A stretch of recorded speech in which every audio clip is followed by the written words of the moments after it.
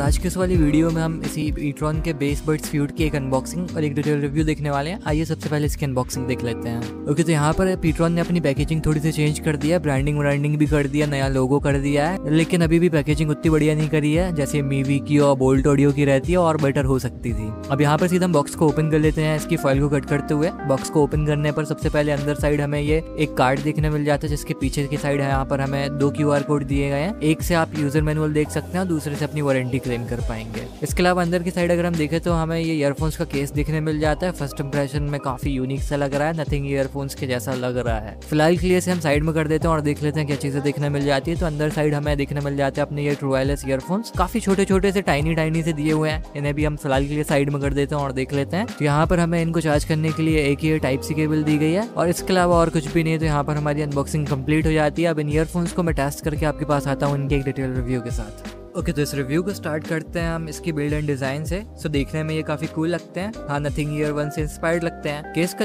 पूरा ही ट्रांसपेरेंट और इवन नीचे के पार्ट में भी यहाँ पे कंप्लीट ट्रांसपेरेंट प्लास्टिक यूज़ किया है। लेकिन नीचे साइड ट्रांसपेरेंट प्लास्टिक के अंदर से भी एक और ब्लैक प्लास्टिक यूज़ करी है जिसका वजह से नीचे कम्प्लीटली ट्रांसपेरेंट नहीं लग रही है। सो so, ये डिज़ाइन पीट्रॉन ने इस प्राइस के हिसाब से काफ़ी कमाल काफ़ी बढ़िया बनाई है। और इनकी सिर्फ़ डिज़ाइन अच्छी नहीं है बल्कि बिल्ड भी काफ़ी सही दिया हुआ है। इधर पे जो प्लास्टिक यूज़ की गई है उसकी क्वालिटी काफ़ी सही फील हो रही है। एंड इवन फिनिशिंग भी काफ़ी स्मूथ है। बस इसमें मुझे एक डिसअपॉइंटमेंट लगी कि इसकी एक्चुअल ट्रू वायरलेस ईयरफोन्स हैं, उसमें कोई भी डिफरेंट डिज़ाइन या फिर ट्रांसपेरेंट प्लास्टिक कुछ भी यूज़ नहीं किया है, एकदम सिंपल सही है इन ईयरफोन्स की अगर हम फिटिंग और कंफर्ट की बात करें तो यहाँ पर मुझे थोड़ी सी दिक्कत लगी। आपको कैनाल डिज़ाइन इसमें देखने मिल जाती है एंड इसकी फिटिंग मुझे बिल्कुल भी सही नहीं लगी। और इसकी वजह से अनकंफर्टेबल भी थोड़ा सा फील हो रहा था। मैंने इसे पंद्रह बीस मिनट यूज़ करा और उतने में ही कानों में थोड़ा सा एडिट्रेशन और हल्का सा फेन लगने लगा। हालाँकि ये फिटिंग और कंफर्ट तो इंडिविजुअल टू इंडिविजुअल डिफर हो सकता है लेकिन मेरे तरफ़ से तो फिटिंग और कंफर्ट में ये बिल्कुल भी सही नहीं लगे। यहाँ पर इन ईयरफोन्स की अगर हम साउंड क्वालिटी की बात करें तो यहाँ पर आपको for the price sound quality अच्छी देखने मिल जाती है। वोकल्स क्लियर दिए गए हैं और काफ़ी लाउड आवाज़ आपको सुनाई दे जाएगी। बेस थोड़ा सा कम लगा और ट्रबल्स भी थोड़े से ज़्यादा बेटर हो सकते थे, लेकिन अगेन यही कहूँगा कि एक हज़ार रुपए के हिसाब से सही है और मूवीज़ देखने में आपको कोई भी इशू नहीं रहेगा। और अगर आप एकदम हैवी बेस लवर नहीं है तो फिर गाने सुनने में भी आपको बराबर मज़ा आएगा। और अगर आपको हैवी बेस वाली ईयरफोन्स चाहिए तो सेम प्राइसिंग पर बेटर ईयरफोन्स अवेलेबल है। इन ईयरबड्स की अगर हम माइक की बात करें तो माइक की क्वालिटी यहाँ पर आपको एवरेज देखने मिलती है और इस प्राइसिंग पे ट्रू वायरलेस ईयरफोन्स के माइक उतने बढ़िया नहीं रहते हैं कि आप उसमें कॉलिंग वगैरह कहीं भी ले पाए तो वैसा ही इसमें भी है शांत प्लेस पे आराम से ले पाएँगे। यहाँ पर मैं आपको एक कॉल रिकॉर्डिंग भी सुना देता हूँ, उसके थ्रू आपको समझ में आ जाएगा कि कैसी क्या आवाज़ ये पिक कर लेता है।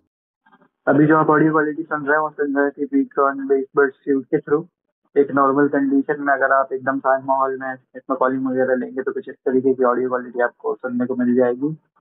इसकी बैटरी लाइफ की बात करें तो वो एवरेज देखने मिल जाती है। ब्रांड 25 फाइव आवर्स मैंशन करता है। इवन मुझे तो ब्रांड की क्लेम भी थोड़ी सी कमी लगी क्योंकि आजकल कॉम्पिटिटर्स तो काफ़ी ज़्यादा बैटरी लाइफ देने लगे हैं। लेकिन स्टिल उतनी ज़्यादा कम भी नहीं है कि आपको कोई परेशानी हो। डे टू डे यूजेज में कोई भी दिक्कत नहीं आएगी। एक बार चार्ज करेंगे आप और अगर नॉर्मली यूज़ करते हो चार पाँच दिन इजिली चल जाएगी केस के साथ। इन ईयरफोन्स की अगर हम गेमिंग की बात करें तो यहाँ पर आपको गेमिंग एक्सपीरियंस अच्छा दिखने मिल जाता है। सराउंड टाइप इफ़ेक्ट तो अच्छा समझ में आता है। बस दिक्कत अगर आपको आएगी तो लेटेंसी में आ सकती है थोड़ी बहुत। लेकिन मुझे रियलमी सेवन प्रो में टेस्ट करने पर लेटेंसी का मैं भी ज़्यादा कोई इशू नहीं लगा। ओके तो एट लास्ट फाइनल वर्डिक में मैं ये कहूँगा कि ये ईयरफोन्स काफ़ी बढ़िया है, देखने में एंड बाकी चीज़ों में एवरेज टाइप है। सो जो भी इन ईयरफोन्स को परचेज करने का सोच रहे थे, वो ट्राई कर सकते हैं। डिज़ाइन वाइज तो सच में काफ़ी बढ़िया है। एंड लेने से पहले ये बात बस याद रखना कि इसमें कोई भी एक्स्ट्रा हैवी बेस नहीं है, जो दूसरे सेम प्राइस के ईयरफोन्स में आपको देखने मिल सकता है। सेकेंडली इसकी फिटिंग एंड कंफर्ट मुझे सही नहीं लगी। सो हाँ एक नॉर्मल यूज़र के लिए वाले ईयरफोन्स काफ़ी बढ़िया हो सकते हैं, क्योंकि देखने में काफ़ी कमाल के और साथ में साउंड क्वालिटी भी यहाँ पर प्राइस के हिसाब से अच्छी दी गई है। बस अगर आप बेस लवर हैं तो फिर ये वाले ईयरफोन शायद आपके लिए अच्छे नहीं लगे, क्योंकि इसमें बेस एक्स्ट्रा हैवी तो नहीं है, लेकिन ठीक ठाक दिया गया है। और आज की वीडियो में सिर्फ़ इतना ही। अगर आपको वीडियो पसंद आई हो तो वीडियो को लाइक कीजिएगा। थोड़ी ज़्यादा पसंद आई हो, चैनल को सब्सक्राइब कीजिएगा। मैं आपसे मिलूँगा अगली वीडियो में।